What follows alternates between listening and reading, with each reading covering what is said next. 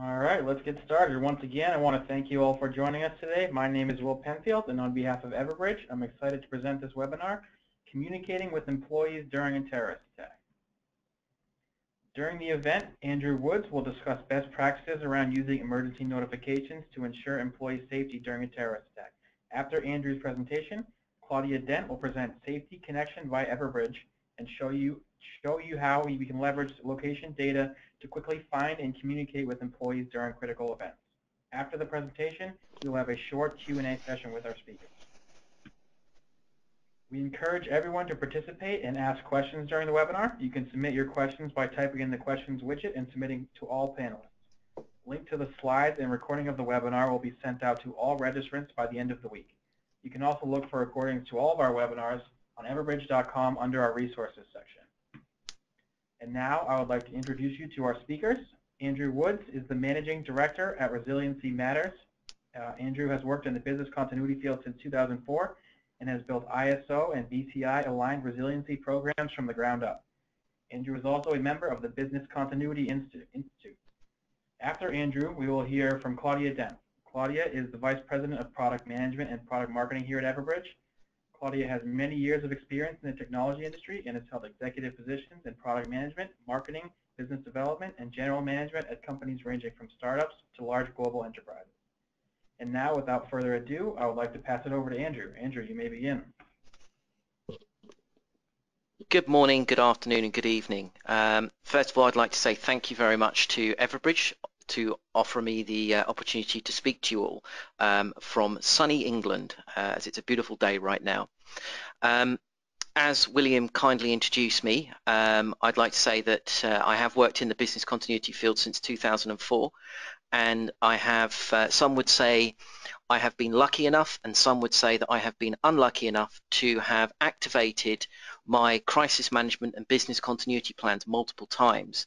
Um, I have also managed large programs globally um, and had the opportunity to roll out mass communication products to over 150,000 employees, covering hundreds of lines of businesses from hedge funds um, and trading platforms all the way through to manufacturing plants and shipping. When I say shipping, I mean ocean-going liners um, over 67 different countries, uh, which is a really great challenge because if I translated into 20 different languages, I only got around 80, uh, 80% of the languages spoken globally.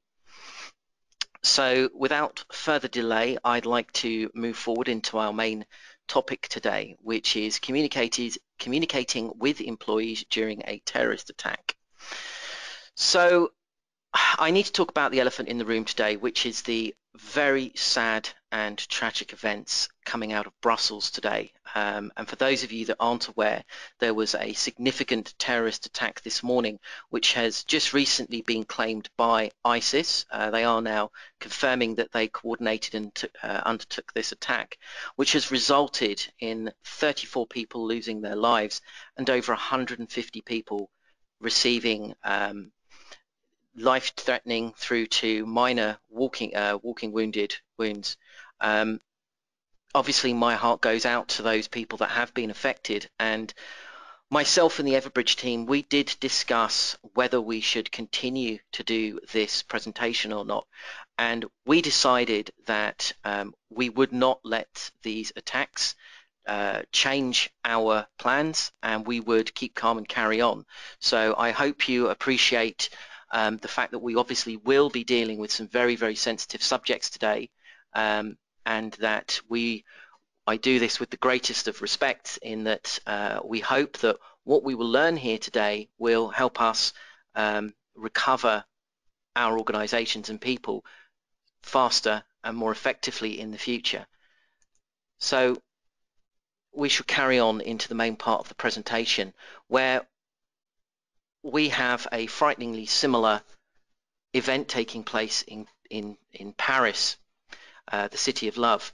Now, the mode of the attack was different in that the primary method was active shooters rather than um, uh, victim-operated devices like in Brussels. But really, what we're looking at here is a significant change in the method of attacks in westernized countries where we have um, in the past seen typically bombings um, on on travel networks such as the 7-7 bombings in London. Um, moving forward into what we're seeing now where we're seeing um, ISIS specifically target civilians at their weakest and um, you can't really get much weaker than people enjoying a meal with their loved ones or going to a music concert in the evening. And whilst we could spend time talking around the security aspects uh, of what occurred in Paris on that dreadful evening, what we're going to be talking about today is the media and how that can shape your response and really thinking about what you need to do in an organization to be, if not ahead of the media, but right on their coattails, making sure that you communicate the right message to the right people at the right time. Now, where I want to start this conversation is around the media and what what that really means in this day and age. And what you're seeing here in front of you right now is a screenshot, a still. Before I go any further, I will not be showing this video. I can assure you I will not be showing you this video um, of the events that took place outside the fire, fire exit of the Bataclan Theatre in Paris.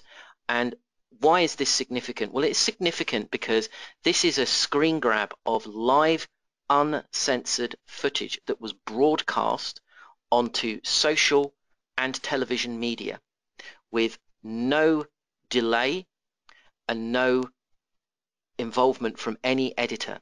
Now, this is significant because prior to this event, there is a rule in the media in Europe that would say anybody that showed the deceased or dying moments of a Western citizen, of a British citizen, an American citizen, of a French, German citizen would never work in the media again. But that happened here. Furthermore, the other significant factor that took place was that within the European Union, there are very there are very tight privacy controls and restrictions around reporting, and those privacy controls and restrictions were in fact lifted, and they are still lifted. The French government has extended the state of emergency, effectively meaning that those rights that you take no longer exist. And this was very, very interesting because this is something that the, the French take incredibly seriously. That right to privacy, that right to anonymity has been waived during this attack. Now, that affects, and that's a very important people, uh, piece because that affects how we can use data, which we will come back to. Secondly, during the Paris terror attack, Facebook rolled out their social good program. And this wasn't the first time that they rolled out their social good pro uh, program. Uh, the first time was the Nepal earthquakes. Now, the social program, for those of you that aren't aware, is an app that the Facebook team push. And what it does is it says, we think that you're in this area. Are you okay? And what we'll do is once you check in and say, are you okay? it will actually notify your friends and your, your friends network. Now, what better illustration than to look at my Facebook page from today, from this morning, where I can see two of my friends, and these are my friends, who have checked in and said that they are safe. Now, on the evening of the Paris attacks, again, this was highlighted very, very well because I had friends who were just a block away from the Bataclan when the attack took place. And they were again able to use Facebook to say, I'm here and I'm okay. Now, thirdly, you have social media as well. Social media is a very powerful tool. It can be used for good and it can be used for ill. And in front of you, what you're seeing right now are two really great examples of social media, of Twitter being used for good with Porte Ouverte. And Porte Ouverte was the hashtag that was used to inform people that were stuck in the city of Paris because the networks were shut down that their sofa, their spare room, their couch is open. You can come and stay in my house, stay in my flat, my apartment, because you've been stand, you've been stranded, and I want to help you. other agencies also use Twitter for wonderful purposes, including hospitals, urgently requesting people of certain blood types to, to, to go to their go to their local hospital and give blood so they could save lives. And it worked so well that there were queues coming out of the door and they actually had to follow up and say, please stop coming. We've got enough people. Thank you so much. But like everything with social media, it's a double-edged sword. And there were those that used social media for ill with the hashtag Paris is burning. And there were some very disturbing images and tweets that were posted out there by supporters of ISIS glorifying the actions of the terrorists. And in fact, even non-ISIS supporters decided to use the terrorist attack in Paris against individuals they did not like. A great example would be where an individual had his picture stolen from his Facebook page, photoshopped, and then spread to social media saying this individual is one of the terrorists. This was retweeted thousands of times, picked up by the media in both the United States and in the United Kingdom, and this individual's details were broadcast. Of course, that individual had nothing to do with the terrorist attacks, and it was purely there to defame him. Now, why am I talking about this? Well, this shapes the way that we respond to our leadership and to our people during a terrorist attack because a lot of times I will actually have people come to me and say, well, you know what? We're just going to use social media. We're going to use Facebook and we're going to use Twitter to control an incident. Really, what happens when your leadership comes to you and said, Andrew, I need you to contact all of our people in the area that's been affected and report back to me on the status. You know, how are these people? Well, at that point, can you rely on social media? Can you rely on Facebook? Now, personally, I don't have any of my colleagues on my Facebook profile. Really, are they interested in what I thought of the last night's Walking Dead episode? Probably not. You know, it's for friends and family. I don't have a Twitter account. And really, having those sources available to your organization is useful, but it's not in your control. It can be hijacked and people cannot share their information. So how do you really need to make sure that you're getting the right message to the right person at the right time? Well, that's the first thing you need to do is you need to think about what is an acceptable response rate during a major incident. So if you're going out and you're standing in front of your C-level and you're saying to them, we can get hold of 70% of our employees within an hour, is that acceptable? I would suggest that probably it's acceptable in some circumstances, but it's not ideal. The higher, the better. And certainly from personal experience, I have found that if you're able to respond with 90 or 95%, because you'll never get 100, very quickly, that is certainly a much better way of doing things. And then secondly, what are the best ways to communicate with people? Obviously, we've just talked about social media. We've just talked about Facebook and Twitter. Well, really what we need to think about is, well, what happens during a terrorist incident? Well, we can't, to put it bluntly, we cannot rely on a single notification path. Now, a great example is there was a shootout recently in Australia. During the shootout, the the, the, the, the biker gang that were involved actually used social media and used things like Twitter and Facebook to understand where the police were and where they were responding to. So, they, so the local authorities shut it down. You may also find scenarios where, like today in, uh, in Brussels, the GSM, the mobile phone networks, became so busy that they clogged and stopped working. So you could not rely on SMS, and you could not rely on phone calls. But the local internet provider in the airport actually opened up their network completely free.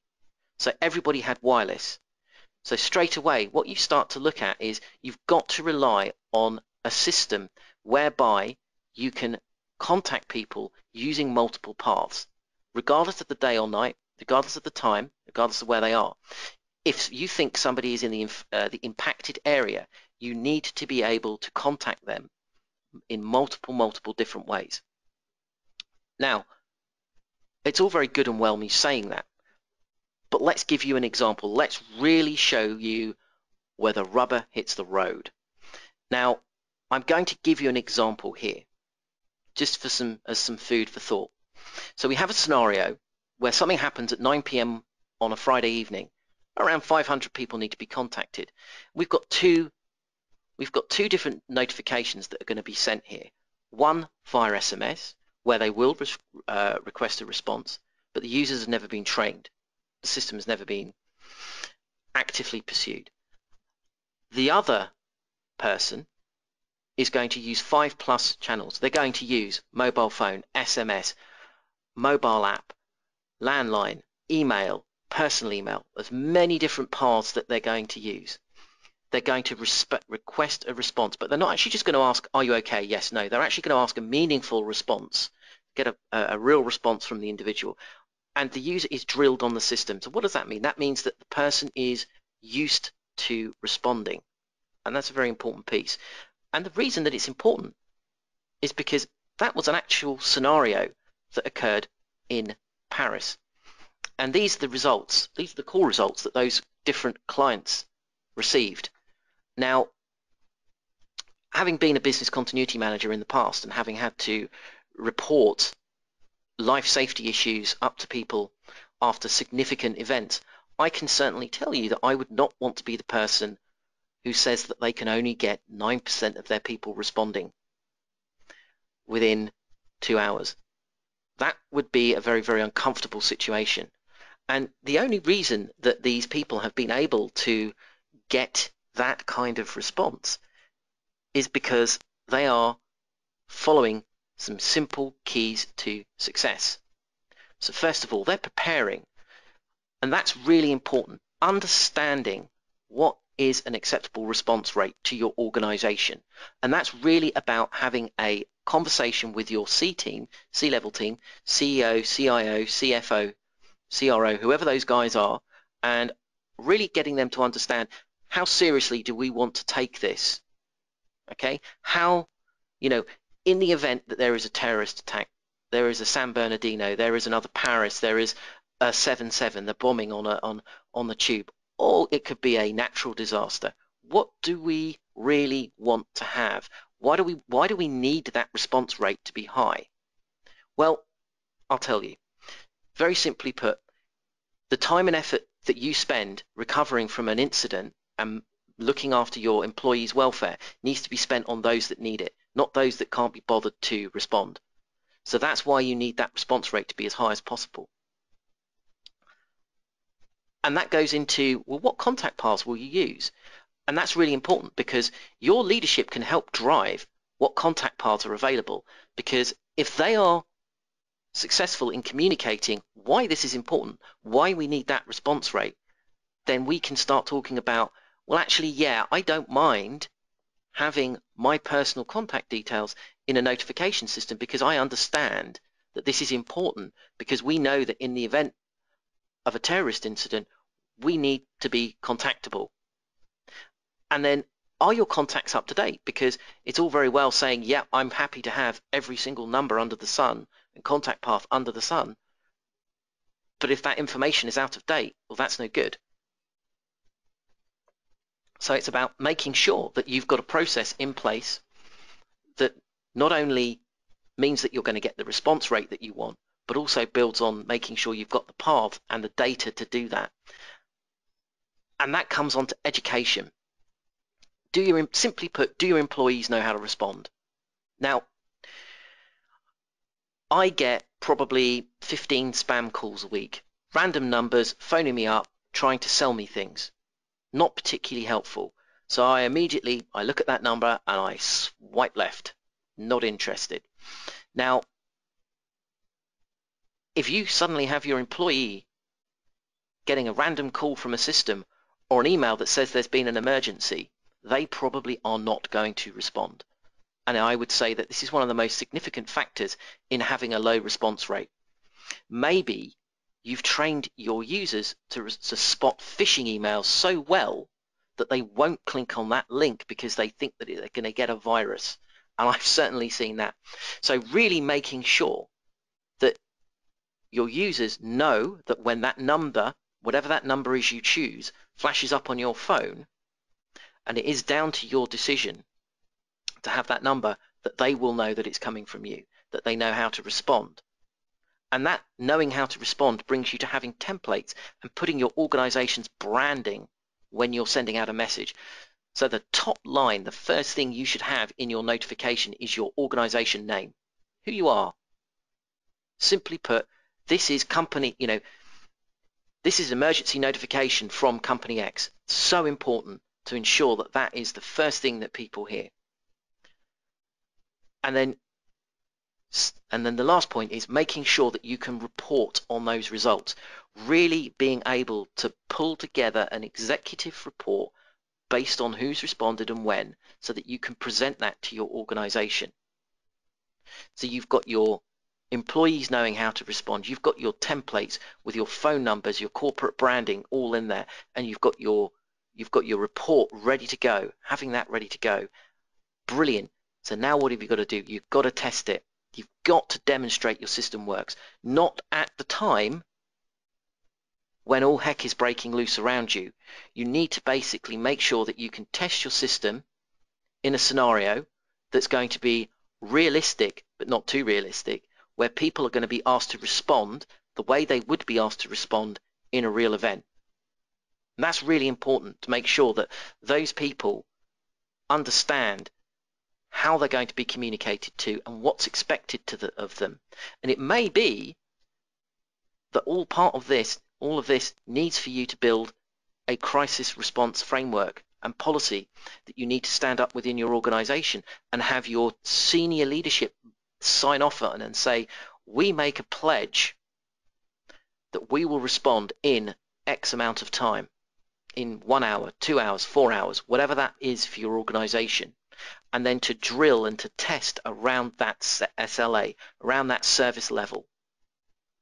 Because you need to make sure that if you say you want to have 85% of all of your people respond in an event, that you can meet that because it may be that that last 15 15% is the ones that you need to be spending your resource on tracking them down.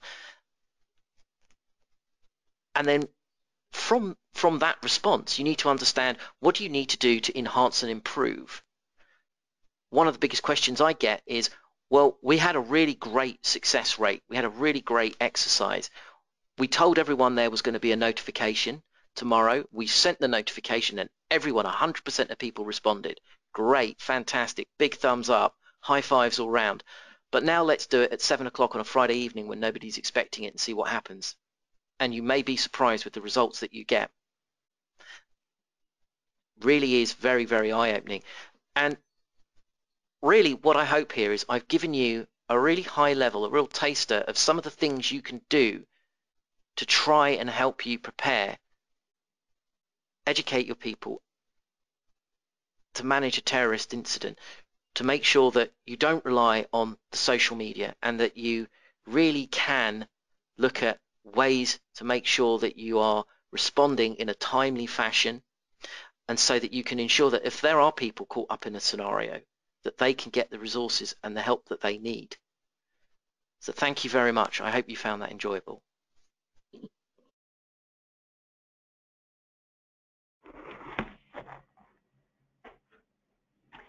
Hey, Andrew, thank you very much. Um, really appreciate that. Um, you know, really a pragmatic look at um, how to manage these kinds of uh, notifications um, because uh, it's it's incredibly helpful to have that experience uh, and to and understand exactly what's going to happen, et cetera. Um, what I wanted to do in our remaining time is just take you through some new enhancements that we've made to our mass notification product with a new module called Safety Connection. And a lot of the features that you're going to see in Safety Connection um, were actually, um, you know, uh, um, honed and, and really built for things like the Paris situation. And um, it's so unfortunate that we're here today, you know, facing another one of these um, tragic events. But the whole challenge that we found that many of our customers have is that if you have highly distributed teams and teams that are um, you know, traveling a lot, it's really hard to understand exactly where everyone is.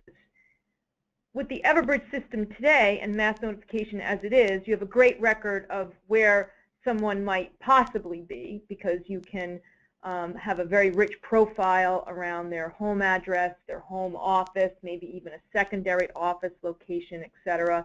But you may not have a good understanding of where people are from a travel perspective.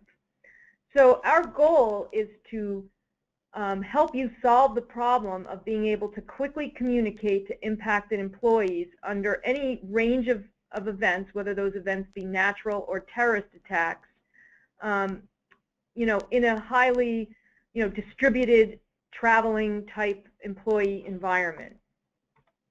And the way that we do this is we leverage really location-based alerting for security and incident response. Um, we know that the more information we have about a particular contact, the more accurate we can place their whereabouts, the more the higher probability we have of accuracy. Um, so for example, you know, a very incredibly highly accurate source is being able to leverage mobile awareness and someone's geolocation.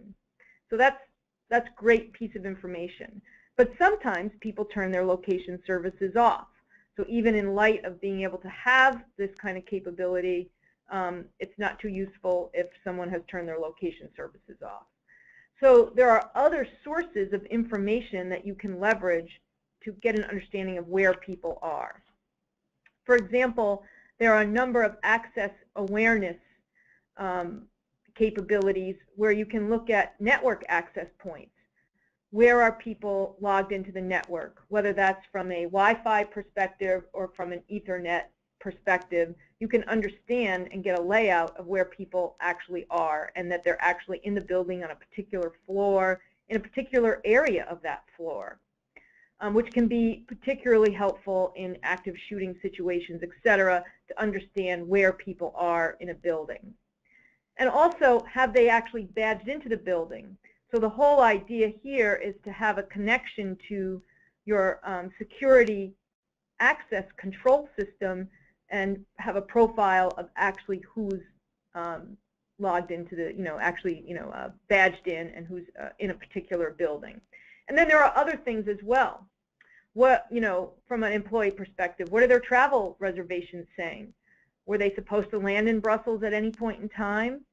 Which one of your employees is in Paris or Brussels, etc. Um, being able to just easily access that information from the travel system would be really, you know, advantageous.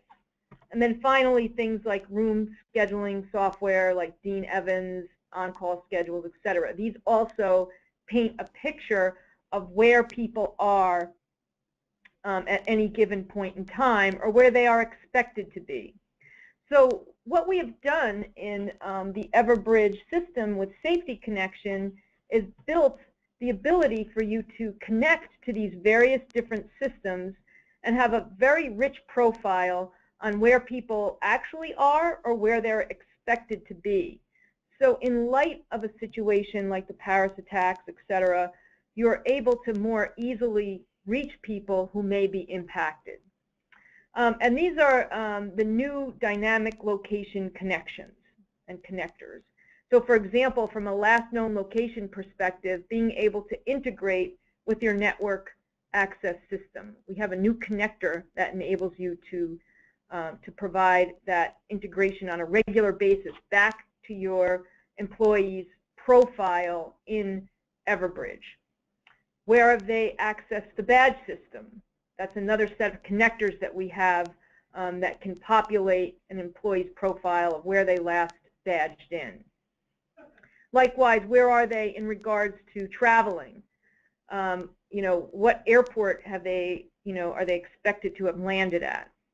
So all of this information, and you can see from, you know, this is Diane Wilkinson's profile, um, enables you to get an understanding of where Diane is, um, you know, is located at any given point in time. So not only do you have those static addresses, you know, and all the other information in Diane's profile, but now you have the ability to understand from a dynamic perspective where Diane might be. Now, the interesting thing here is also is that the nice thing about leveraging Everbridge and the Everbridge contact system is that this is one place where you can go for um, integrating many different systems. So for example, if you're an international company, you may have different badging systems. Um, so why not have one point of reference that really aggregates all of this data from access control systems, network systems, and, uh, and travel systems under one um, contact profile. That way, at any instant in time, you have the most complete information about the whereabouts for employees for safety purposes. So um, let's take a look at how that surfaces in the Everbridge universe. Um, we have a set of new map icons so that if you uh, want to associate um, employees with um, specific you know, assets that are part of your locations like R&D centers, data centers, branch offices, manufacturing facilities, etc. You can assign um, unique icons to those facilities and have them all loaded within the system uh, associated with these unique icons. Um, and you can also locate other um, things like airports, etc., so that uh, you know you'll you'll understand where people are from a travel perspective, and that will be automatically you know tied in. So once you have um, an understanding of all key assets in your organization and where people might possibly be, and you connect that with the dynamic profile, you're able to, at any point in time, locate people and say, okay, um, for this particular building, there are 33 people who are last known to be in this building based on either network access or badge access control. And there are 56 people who claim this as their home office. So this gives you, you know, an instant way to reach out to these various people, and it also enables you to create a mustering list um, in the event of you know some kind of attack, etc. So you can you know decide how you're going to you know reach out. You're going to reach out to those 33 people first, and then maybe all 56 people as a follow-on, both in parallel. That is completely up to you how you want to do that messaging. Um, but the point here is that you know you have an instant um, access to this mustering list um, for reaching out to um, employees. Likewise, um, you can also easily figure out how many employees, for example, are traveling. Um, so, um, you know, at this point in time, by just looking at the airport in France, you can see that 30 of your employees were expected to be at Charles de Gaulle Airport at this particular given point in time. So you know you have 30 people that could have been possibly impacted by the Paris attacks, and you can reach out to those uh, people instantly from the Everbridge um, uh, portal and get an understanding of whether or not they're okay, etc. Um, also, as part of Safety Connection, we're introducing some new safety capabilities from a mobile perspective. And these are standalone today, but they're going to be integrated into Contact Bridge in the summer of 2016. But this is where employees can proactively reach out to you if they're in a panic situation or if they're in a situation that you know they feel unsafe. But there's some uh, cool underlying features with this panic button. So first of all, when you activate the panic mode, you have nine seconds to cancel it, or 10 seconds actually, it's counting down, um, to, to cancel it if you hit the panic button by an accident. If you didn't hit it by an accident, you can click on panic now and it will you know, go immediately to panic. If by chance someone holds a gun to your head and says, hey, cancel that panic, you have a special code that you can enter that will enable you to continue the panic without that person knowing. Um, so that's the secret panic capability, which is super important in certain you know, uh, situations where you know, you're being assaulted, etc. In addition to the immediate panic, there's also a new capability called the Safe Corridor. And this is very valuable for uh, employees who may, you know, think that they're entering into an unsafe area, so they set up what, what's called a safe corridor, and they have to check in at specific intervals of time, which can be, you know, pre-programmed into the system. So for example, if I'm going to walk across Central Park in the middle of the night, I might want to set up a safe corridor. And where you see the, um, the blue dots, that's where I have checked in officially. So every um, few minutes, I'm required to check in per the safe corridor, and I enter my code, and I successfully check in. If at any point in time I fail to check in, the system will automatically go into panic mode. Um, and when it goes into panic mode, you can see that um, it actually starts reporting information much more rapidly to the Everbridge portal, and you have an understanding of um, where people are, you know, possibly being dragged to, et cetera, if, that phone is still with them. It also kicks off the ability to take a video of what's happening while you're in panic mode. So that will give you know more evidence as to actually what's happening, and you can see that that data is being transmitted on a much more frequent basis during this panic situation. Um, in addition to that, once you, the employee has entered into panic mode, you have the ability behind the scenes to decide you know, how you want to set up your communication workflow in the event of a panic who gets notified? Are there on-call people who have to respond? Do you want to escalate to certain um, members of your uh, response teams, et cetera? All of this can be automated, you know, leveraging the Everbridge communications system. Um, so, um, safe, you know, safety connection really is meant as a set of capabilities that enable you to really provide better information on where people are, more specifically, from a dynamic perspective, and also provides the ability for the employees to activate a panic mode um, when you know they feel like they're in trouble or in danger. Uh, so, um, you know, the, the whole point here is to provide a higher level of um, security and incident response you know, leveraging all of the abilities of the Everbridge notification system um, to expand your duty of care for your traveling employees, to automate evacuation processes, and improve operational responses. So, you know, from an Everbridge perspective, we continue to invest in, you know, taking our capabilities and making them even more automated for these kinds of you know, unsafe emergency situations like, you know, terrorist attacks. Um, so as many of you know, um, Everbridge is a global organization. We have over 18 global offices and data centers. Um, you know, this is the 11th year that we've been a market leader. Um, we're a highly scalable system. We send over a billion messages per year. We have 100 million contacts managed. Um, so just to give you a, you know, a, a sense of the scale of Everbridge and how we can serve truly serve um, our global customers. Um, and you know, and with that, I just want to show you the kinds of customers that we serve across many, many markets.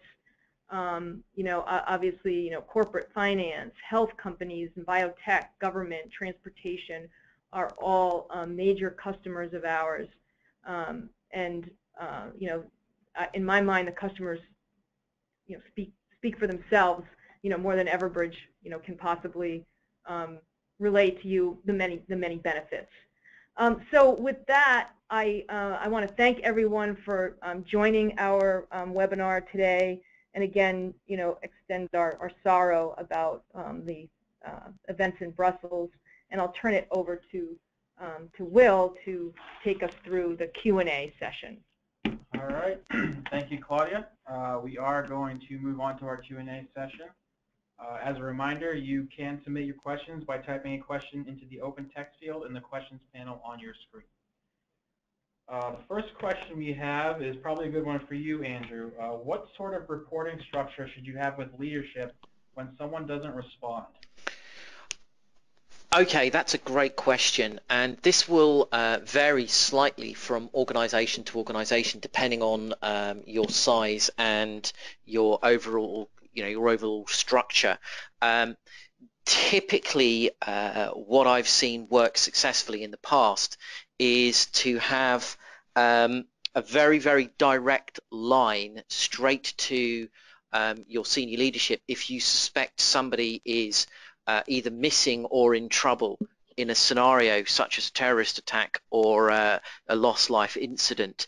Um, the reason that you would do this and perhaps you would actually um, escalate outside of normal normal paths is because you have a duty of care uh, or you would often have the duty of care that you want to get that resolved as quickly as possible and if you need to start involving emergency services, you may also wish to start thinking about things like will you need a press brief? Will you need to get your um, communications team involved? Will you need to get your legal team involved? What are you going to do about those the employees who work with the person who is missing or potentially hurt? What kind of employee support and services will they need? So really when you have these situations the sooner you can get this up to your board level up to your C level the quicker. Now it's much easier to say okay stand down we found the person you know a few hours later than to sort of be sat there going well we've been caught with our our trousers around our ankles and we're not prepared. Um, so certainly my experience of the situation is really around making sure that you can get the information to the people as quickly as possible who are in the senior enough positions to make those calls. All right, thank you, Andrew. Uh, next question we have is, does Safety Connection work if there are multiple offices with different badging systems?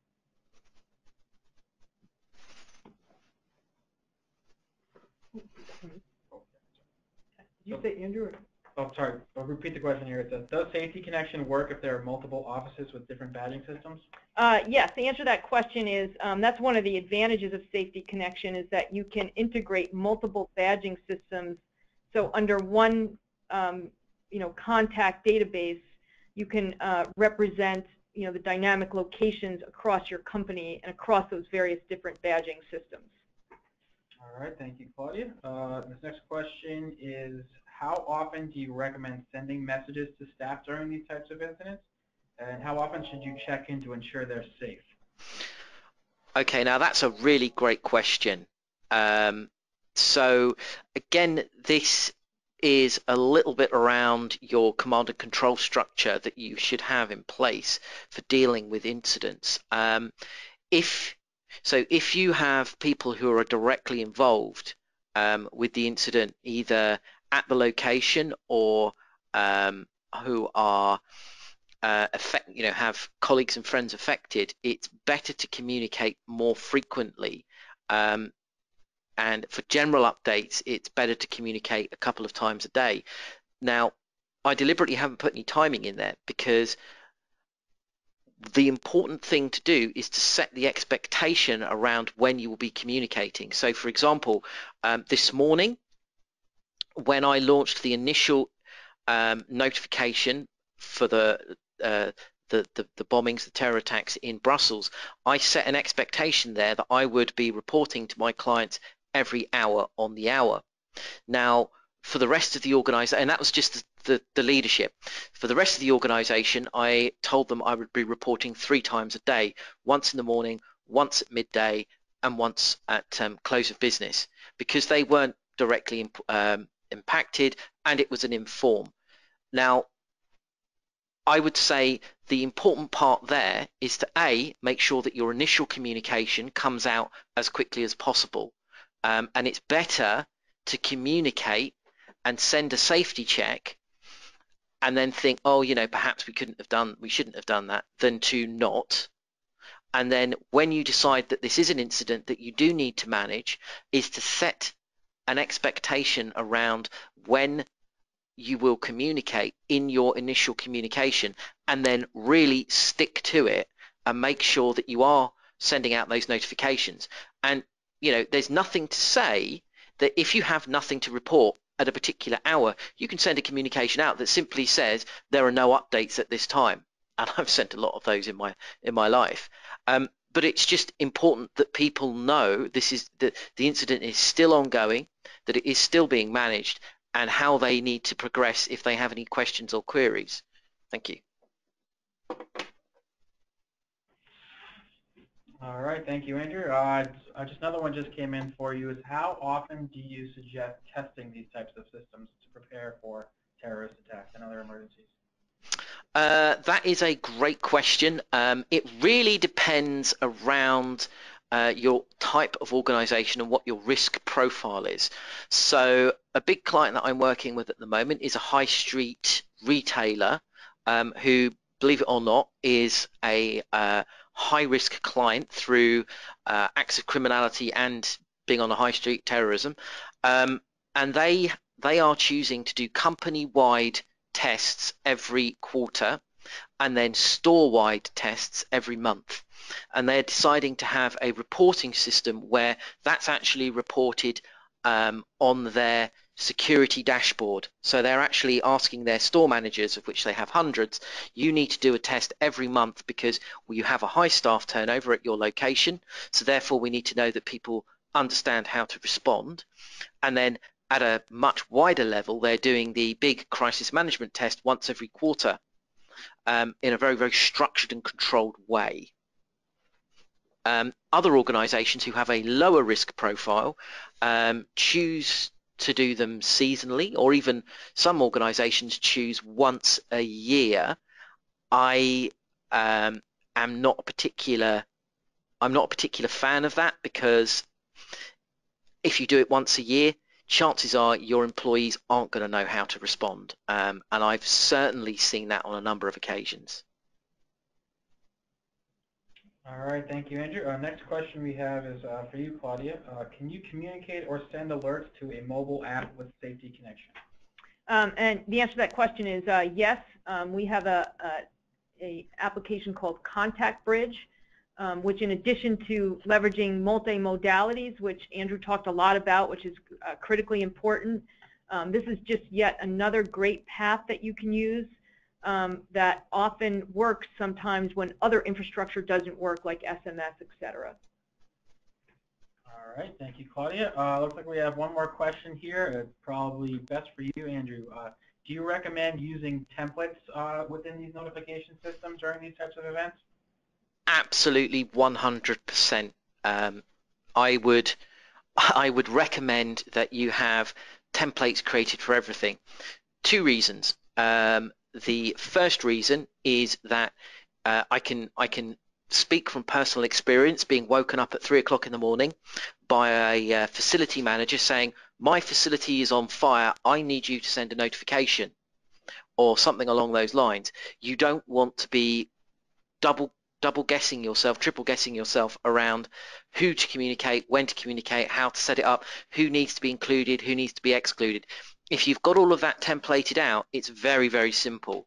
Um, secondly, um, secondly, the, the templates allow you to put things like company branding and to ensure that when people receive the messages, certainly on things like um, email, they're going to receive a company logo and it's going to look formatted in a uh, in, in an acceptable way.